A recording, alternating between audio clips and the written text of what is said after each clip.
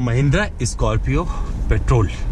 में कैसे परफॉर्म करती है? क्योंकि जो मेरे पास ये गाड़ी है ना, इसका टॉप वेरिएंट है जेड एट और इसमें ऑटोमेटिक ट्रांसमिशन लगा हुआ है। 203 पीएस की शक्ति देता है और 300 सौ का टॉर्क निकलता है। काफ़ी धमाकेदार है। और ये इंजन कितना प्रभावशाली है, खास करके जब आप किसी घाट सेक्शन में इसे ड्राइव कर रहे होते हैं। तो इस पूरे वीडियो में यही दिखाने वाला हूँ कि घाट सेक्शन में ये कैसे परफॉर्म करता है और जो मेरे सामने घाट है, जिसमें मैं चलाने जा रहा हूँ, ये एम्बे वैली की तरफ़ जब जाते हैं, लोनावला से आगे बढ़ते हैं तो वहाँ पर पड़ता है और शुरुआत करते हैं ब्रेकिंग से। तो ब्रेकिंग बाइट्स ना, चारों पहियों पर डिस्क जो मिलते हैं, बहुत अच्छे से अपना काम कर देते हैं। ट्रेबल सस्पेंशन काफ़ी अच्छा है, जिसकी वजह से थोड़ी और स्टेबिलिटी मिल जाती है और हाई स्पीड कॉर्नरिंग में कंपनी बोलती है कि इसका कोई जवाब नहीं है। तो एक कार जैसे मतलब जैसे आप एक छोटी कार चलाते हैं और उससे आपको एक परफॉर्मेंस मिलती है, कुछ इसी तरीके से एक बहुत ही प्रिसाइज परफॉर्मेंस कंपनी का दावा है। तो चलिए पहाड़ पर चला के देखते हैं और जान लेते हैं कि ओवरटेकिंग में कैसी है, खास करके जब आप चढ़ रहे होंगे पहाड़ तो कैसा लगेगा? तो पहले तो ओवरटेकिंग कर लेते हैं। ये रहा ओवरटेकिंग आ गया और आवाज़ सुन सकते हैं आप। तो मतलब फटाक से इसमें आपको सारी चीज़ें मिल जाती है और बहुत मज़ेदार तरीके से ये अपना काम कर रही है। और मुझे स्कॉर्पियो एक चीज़ ध्यान रखिएगा, कभी इसे स्कॉर्पियो से कंपेयर करके मत देखिएगा, क्योंकि जो स्कॉर्पियो भी बिक रही है बाज़ार में ना, वो एक अलग प्रोडक्ट है। 2002 में आया था, उसे बेच रही कंपनी और एक ये अलग प्रोडक्ट है, एकदम नया प्रोडक्ट है, और चलाने में, अगर आपने इसे चला लिया तो मुझे लगता है कि हो सकता है कि आपको जितनी भी आपने महिंद्रा अब तक चलाई है, उससे भी बेहतर लगे। अगर मैं यहाँ पर ज़िक्र करूँ X U V seven double O से भी बेहतर लगे तो आप चौंकिएगा मत, क्योंकि चलाने में मुझे इसे बहुत ज़्यादा मज़ा आ रहा है। तो अभी एक छोटा सा गाँव का हिस्सा है, ये निकलेगा, और अभी पहाड़ की चढ़ाई है आगे काफ़ी कुछ तो वहाँ पर अच्छे से समझ पाएँगे इस गाड़ी को और आपको बता पाएँगे प्रैक्टिकली कि किस तरीके से ये परफॉर्म करने वाली है जब आप ऐसे रास्तों पर इसे लेके निकलेंगे। तो इसका जो कैरेक्टर है ड्राइविंग कैरेक्टर है, वो काफ़ी अच्छा मतलब आप कमांडिंग पोजीशन में बैठ कर आप एक एसयूवी वाले फ़ील्ड में एक जो होता है ना, जैसे सेडान कार चलती है, उसके जैसा जब आपको परफॉर्मेंस मिले तो आप समझ जाइए कि आपके पास एक अच्छी गाड़ी है, क्योंकि बॉडी रोल मुझे बहुत ज़्यादा फील नहीं हो रहा जिसकी मैंने उम्मीद की थी। तो जिस तरीके से इसको डिज़ाइन किया गया है और जिस तरीके से एरोडायनेमिकली इसे कनेक्ट किया गया है और इसमें जो जो भी कुछ इसमें कंपनी ने प्रयोग किया है, वो काफ़ी हद तक बहुत अच्छे से बन पड़ा है और महिंद्रा से मुझे कुछ ऐसी ही उम्मीद थी। तो थोड़े से और रास्ते भी आएँगे तो वहाँ पर मैं इसको चला के आपको बता पाऊँगा कि किस तरीके से इसमें आप इंजॉय कर सकते हैं इससे और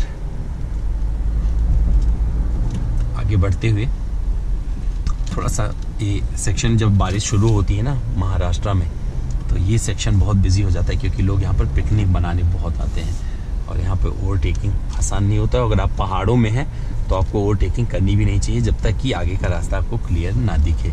मुझे नहीं दिख रहा है तो मैं भी नहीं कर रहा हूँ। अगर एक बार दिख गया तो मैं ज़रूर करूँगा। तो ये थोड़ा सा मुझे क्लियर मिल गया है और मैं अप्रोच कर सकता हूँ। और अप्रोच करते करते मैं देखिए मतलब अगर ओवरटेकिंग की आपको चिंता है कि ओवरटेकिंग में कहीं पे फंसाएगी तो वो चिंता आपकी दूर कर देती है अगर आपने वाला हिस्सा देखा होगा तो आपको पता चल जाएगा। और ये सामने रही एक बढ़िया कॉर्नरिंग तो इसकी एबिलिटी मैं अच्छे से चेक कर सकता हूँ। तो अभी बहुत ज़्यादा स्पीड नहीं रखी थी तो चिपक के ये आराम से निकल गई। मतलब अपने लेन से कहीं भी नहीं भटकी है। ये छोटे से, और ऊपर अभी जो पार्ट आ रहा है, वहाँ पर काफ़ी चढ़ाई है। तो वहाँ पर अच्छे से मैं बता पाऊँगा कि किस तरीके से ये परफॉर्म करती है और किस तरह से चढ़ाई पूरा कर पाती है, कहीं पे कोई लैग आता है या नहीं आता है। और साथ में भी एक चीज़ और बता दूँ शिफ्टिंग इसकी कैसी है तो शिफ्टिंग में आपको कहीं भी लैग नहीं आने वाला है। तो चढ़ाई के दौरान देख सकते हैं आप कि जब आप खास करके ट्रैफ़िक में चढ़ाई कर रहे होंगे तब भी आपको दिक्कत नहीं आने वाली है और ये जिस तरीके से आपको क्योंकि मैं अभी जहाँ से चल रहा हूँ यहाँ पर पूरी की पूरी जो सड़क है गीली है। तो बेट सरफेस से मैं आप पहाड़ पर आगे निकलने की कोशिश कर रहा हूँ और ख़ास करके बहुत ज़्यादा ट्रैफ़िक लगा हुआ है। तो यहाँ पर आ, कहीं से ये नहीं लगता कि भैया अब फंस गया मैं या मैं यहाँ पर अटक गया हूँ बीच में गाड़ी आगे नहीं बढ़ेगी। तो प्रिसाइजली मतलब और सबसे अच्छी बात है पेट्रोल की कि एक आवाज़ भी नहीं आती। मतलब आपके केबिन में कोई भी आवाज़ नहीं आ रही है और आप इसके सहारे आगे बढ़ते जा रहे हैं और टायरों से थोड़ी सी चीखने की आवाज़ आती है जो बहुत ज़्यादा फास्ट वार्निंग आप कर रहे होते हैं। तो अगर मैं ये वाला रास्ता थोड़ा सा क्लियर होता है तो कुछ चीज़ें और आपको बता पाऊँगा, क्योंकि ट्रैफ़िक बहुत ज़्यादा यहाँ लगा हुआ है। मैंने ये उम्मीद नहीं की थी क्योंकि अमूमन ये रास्ता मुझे ना खाली मिलता है। और अगर आप एम वैली आते हैं इन रास्तों से परिचित हैं तो आप ये भी जानते होंगे कि यहाँ पर बड़े अच्छे से अगर आप गाड़ियाँ वाड़ियाँ टेस्ट करते हैं तो अच्छे से टेस्ट भी कर सकते हैं, क्योंकि ये पूरा पिन बनता है। जैसे रेस ट्रैक वगैरह पे होता है ना तो भी मैं थोड़ा फास्ट कर सकता था इसे, बट जिस तरीके से भी यहाँ पर ट्रैफ़िक लगा हुआ है तो मैं कुछ और ज़्यादा कर नहीं पा रहा हूँ। बट जो कर पा रहा हूँ, उसके लिहाज से काफ़ी कुछ मुझे यहाँ पे अभी अलग मिल रहा है और मैंने यहाँ पे थोड़ी सी ओवरटेकिंग कर ली है। और यहाँ पहुँच चुका हूँ बट ठीक है, चलता है। तो आपकी गाड़ी लेन में चिपकी रहती है। जब आप इसमें से जाओगे एक्सपीरियंस करोगे तो आपको एग्जैक्टली exactly पता चलेगा। और ऑटोमेटिक का ऑटोमेटिक का फ़ायदा क्या होता है, ये भी आपको यहाँ से समझ में आ जाएगा।